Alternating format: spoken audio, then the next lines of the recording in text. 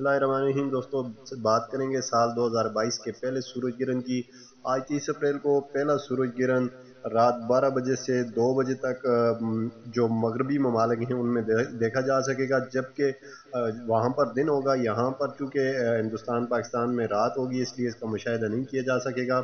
NASA ने कहा है कि जो चाँद गिरन है सूरज गिरन जनूबी अमेरिका के कुछ हिस्सों में इसको देखा जा सकेगा और अंटार्कटिका के कुछ हिस्सों में ये नज़र आएगा। बेर फनूस में जनूबी अमेरिका के जनूब मशरकी साहिल में फाकलैंड और इसके साथ साथ जनूबी बैरलकार और जनूबी बैर बाहर में भी इसको देखा जा सकेगा। पाकिस्तान, हिंदुस्तान समेत जो जनूबी एशिया के ममालिक हैं, उनमें इसको नहीं देखा जा सकेगा।